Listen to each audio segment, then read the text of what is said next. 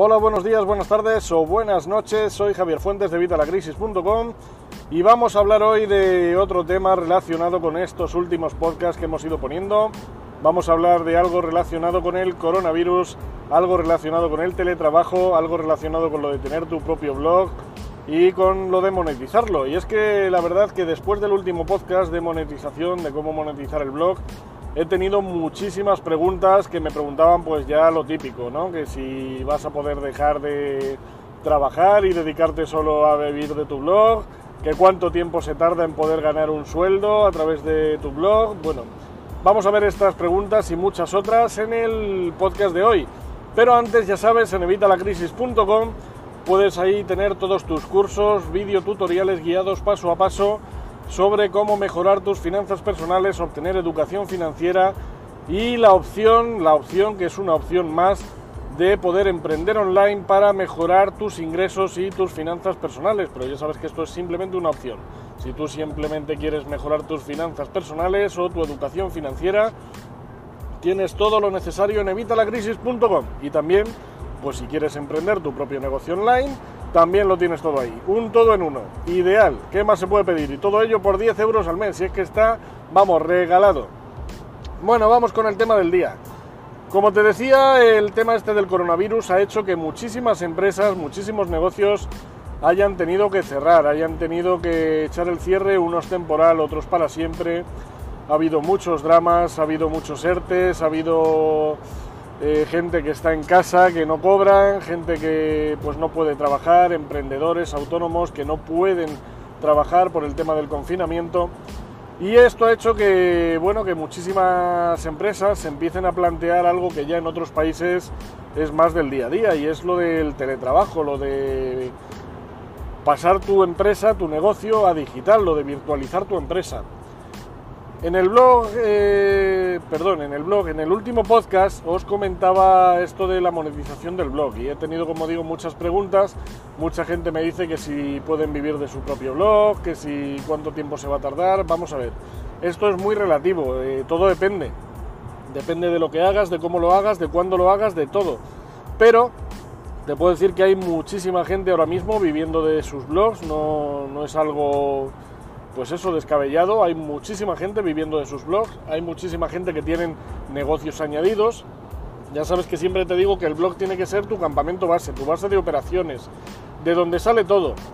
El blog no solo lo tienes que hacer con la idea de monetizar, de hecho, la mayoría de la gente que ha empezado un blog lo ha hecho para divertirse, que es como tienes que hacer las cosas. El blog realmente se puede monetizar, como te comenté en el último episodio, pero realmente no es el fin último. El blog es, pues eso, nuestra base de operaciones de donde va a salir todo. Es donde está nuestra marca personal, es donde explicamos qué hacemos, cómo lo hacemos, por qué lo hacemos. Y por supuesto, pues también puedes vender productos, servicios y todas las otras formas de monetización que te comentaba en el último podcast. ¿Cuánto tiempo vas a tardar en conseguir un sueldo? Porque ya hemos visto que sí, se puede, se puede conseguir. Bueno, pues una vez más depende. Si haces las cosas bien, en unos seis meses, un año, podrías estar viviendo de tu blog. Pero yo siempre os recomiendo tener eh, esto como un plan B, ¿vale? No hay que poner todos los huevos en la misma cesta. Igual que lo aplicamos esto a nuestras finanzas personales, lo tenemos que aplicar a nuestro negocio online y a nuestras fuentes de ingresos.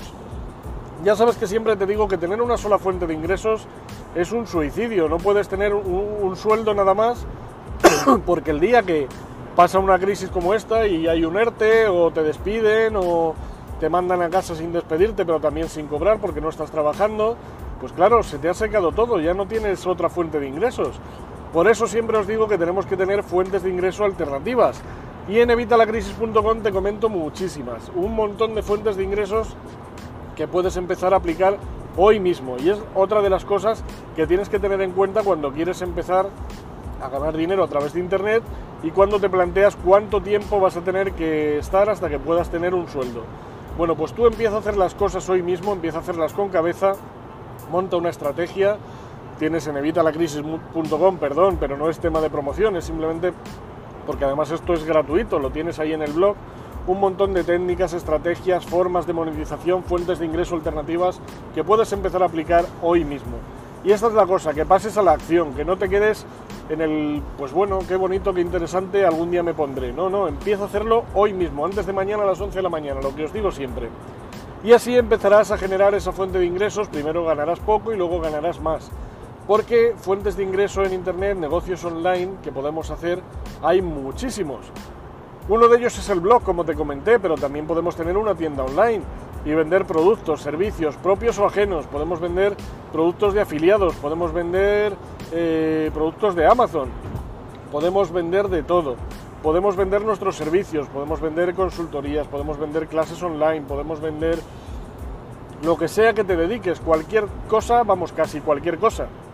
Pues ya sabes que yo, por ejemplo, mi trabajo es en el Suma 112 y ahí obviamente tengo que estar en el domicilio del paciente o en el sitio en el que sucede el accidente o la catástrofe o eh, la situación que nos requiere. Entonces nosotros vamos a atender in situ con nuestra UBI móvil y atendemos al paciente allí donde nos necesitan. Y esto obviamente hacerlo online pues no se puede. Pero por ejemplo tengo un compañero, un médico, que además de estar en el Suma 112, como no es que tengamos un sueldo demasiado amplio, pues él trabaja también en un par de clínicas privadas eh, haciendo consultas normales, eh, pues como las del médico de cabecera, pero privadas.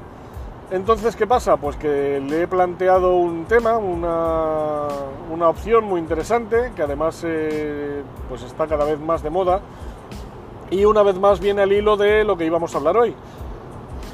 El tema de eh, la virtualización de los negocios. Bueno, pues este compañero, ya si algún día acabamos de montar esto, ya le traeré, le haremos una entrevista y así le podéis conocer y conocer su punto de vista y todo le he planteado que empiece a dar consultas a través de su página web. Él está, vamos, yo le estoy montando una página web, es un amiguete mío, y le estoy montando una página web eh, para, su marca personal realmente, para pues eso, eh, como médico, con sus experiencias, sus artículos de medicina, científicos, es un médico que además está muy, muy, eh, muy metido en redes sociales, es un médico bastante bueno, además es un, no solo eso, sino que también el primer libro que escribí, el de Crónicas Sumarias, que tenéis en Amazon, ya lo sabes, Crónicas Sumarias con dos M's de suma, lo escribí con él y otra compañera. Bueno, pues le he ofrecido, vamos, le he planteado la opción de que además en esa página web pueda dar consultas, consultas médicas, consultas a través de Skype, Bloom, Zoom, hay 100.000 formas para hacer consultas online. Tanto una consulta puntual como pues pagar una membresía. Ya sabes que algo que está funcionando muy bien cada vez más últimamente es el tema de los membership site. Tienes varios ejemplos que conoces, pues como Netflix, como Disney Plus, hay un montón que están haciendo pues eh, eso, un membership site, un pago recurrente todos los meses y a cambio de eso tienes unos servicios, unas opciones. Bueno, pues eso es otra opción que le estoy planteando a este compañero y la verdad que de momento le interesa, Vamos a ver si lo montamos y qué tal funciona. Y bueno, pues ya os digo, si lo montamos, funciona y tal, le traeremos aquí al podcast para, que le conozcáis y nos cuente de primera mano qué tal le está yendo y qué opina pues, de todo esto de los negocios online. Si tú tienes un negocio físico, un negocio tradicional, lo que tienes que hacer es empezar a virtualizarlo. Y ahora mismo muchísimas empresas lo han hecho con esto de, del estado de alarma, con esto del confinamiento. Perdón hay muchísimas empresas que lo han tenido que hacer por necesidad, porque es que no tenían ni siquiera presencia online, no tenían una página corporativa, o... pero no tenían ningún área de negocio en Internet. Y como digo, pues este confinamiento ha traído que muchas empresas hayan tenido que cerrar, algunas temporalmente, otras desgraciadamente para siempre. Y esto todo ha sido por el tema de que aquí en España no está muy extendido todo esto del teletrabajo, todo esto de pues eso, de la virtualización de los negocios tradicionales. Si algo funciona, es cierto que no hay que tocarlo, pero sí podemos mejorarlo. Podemos, eh, si tenemos una tienda física, podemos montar una tienda online y montar los mismos productos que tenemos en la tienda o los que nosotros pensemos que podemos vender mejor online. Si tienes eh, una empresa de servicios, pues lo mismo, puedes vender tus servicios a través de Internet, puedes paquetizarlos. Hay muchísimas formas y hay muchísimas, muchísimas empresas que lo han hecho por necesidad. Hay otras que lo han hecho eh, de cara a ampliar, ampliar esta virtualización o esta digitalización Esto, si lo quieres hacer tú, es muy sencillo. Yo he hecho a bastantes de mis clientes, les he hecho la virtualización de, de su empresa, de su negocio. Interesa sobre todo a partir de pymes. Ya cuando eres un autónomo, virtualizarte es bastante sencillo. Pero si ya empiezas a tener un par de trabajadores, 3, 5, 10 o más, pues ya empieza a interesar. ¿Por qué? Porque hay tres pasos, digamos, que tenemos que seguir para virtualizar un negocio digital. Y por supuesto te los voy a contar. Ya sabes que yo no me callo nada. Si quieres que yo te ayude, pues ya sabes, evitalacrisis.com barra contacto y me, contactas. Me contactas y yo te, te ofrezco mis servicios. Pero eh, si quieres hacerlo tú mismo, pues te voy a contar cómo se tiene que hacer. La verdad que lo que tienes que hacer es dividirlo, pues eso, en tres pasos. Lo primero sería virtualizar el, negocio, la plantilla. Para ello eh, hay varias herramientas, tenemos Slack, tenemos Trello, tenemos Asana, hay un montón de herramientas que se pueden utilizar para mejorar la comunicación entre empleados, para tener pues eh, todas las áreas de negocio conectadas, todos los empleados conectados, los empleados con el jefe, con la administración, con la empresa, la empresa con estos empleados.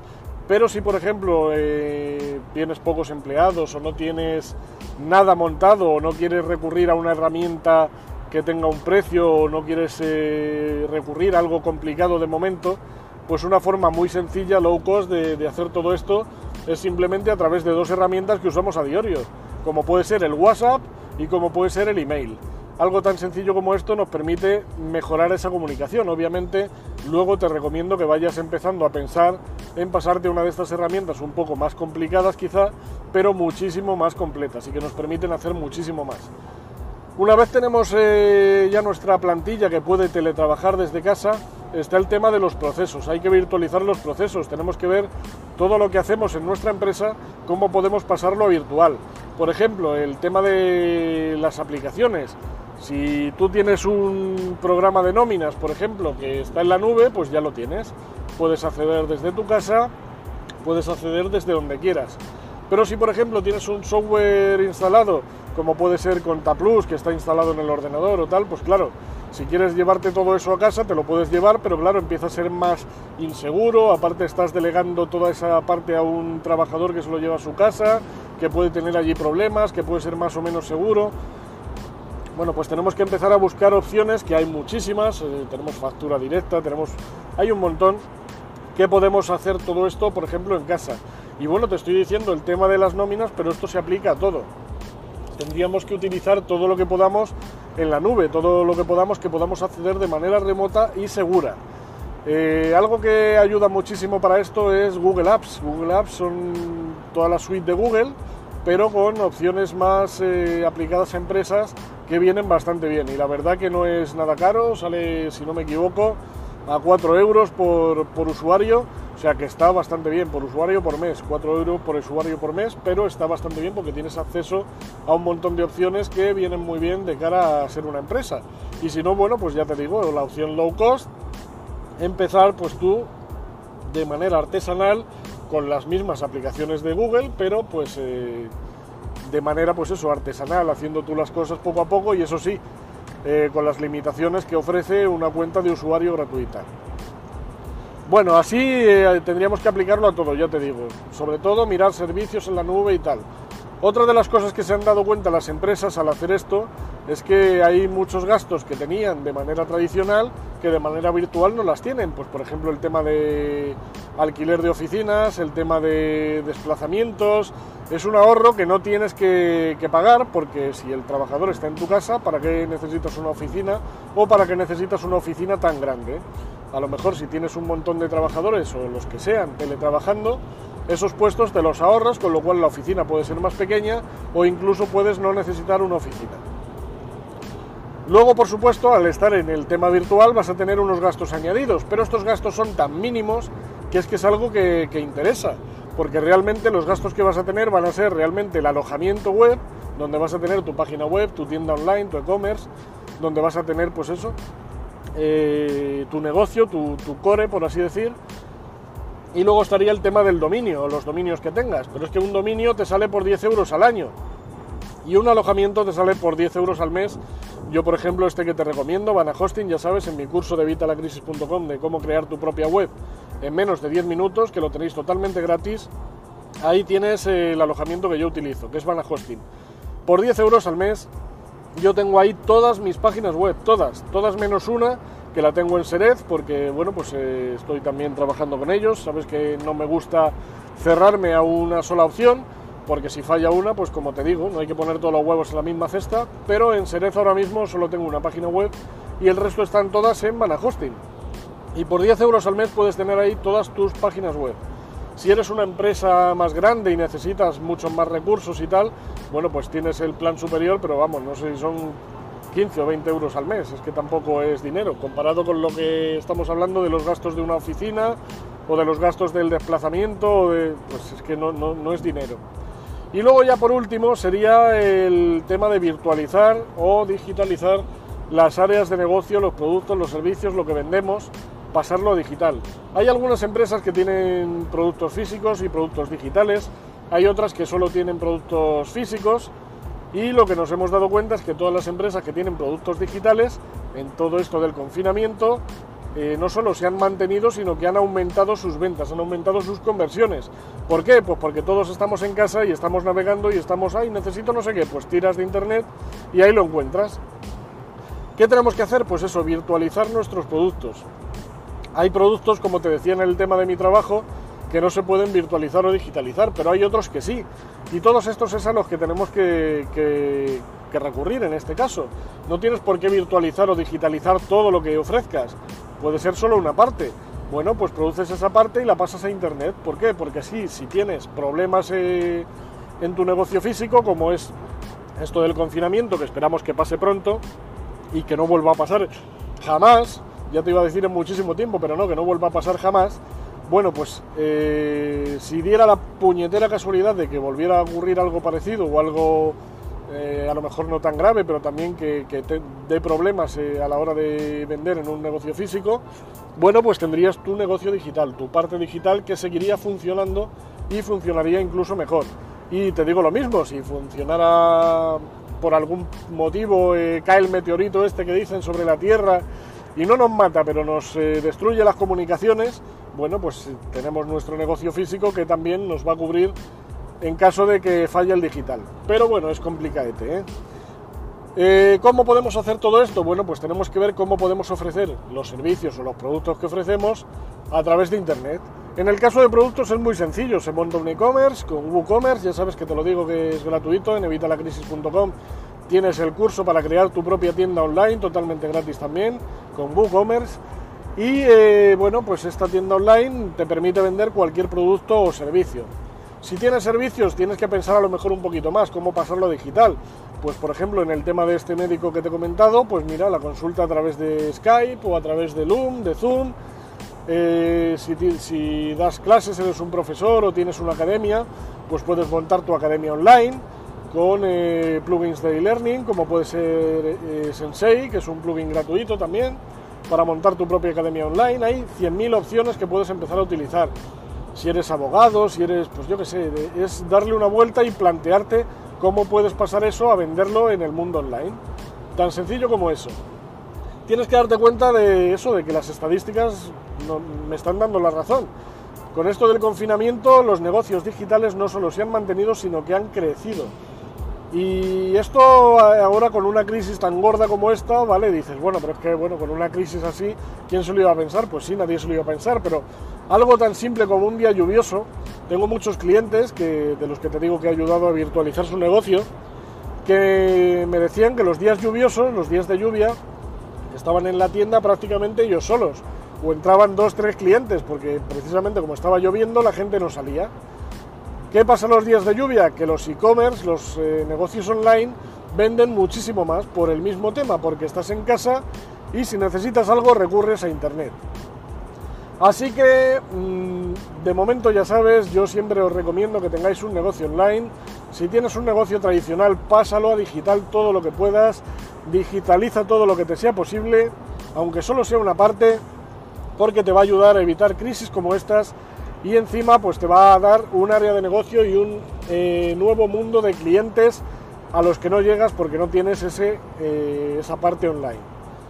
Nada más, espero que te haya gustado. Como siempre, muchísimas gracias por vuestras opiniones de 5 estrellas en iTunes, por vuestros me gusta y comentarios en iVoox, en YouTube, en mi blog.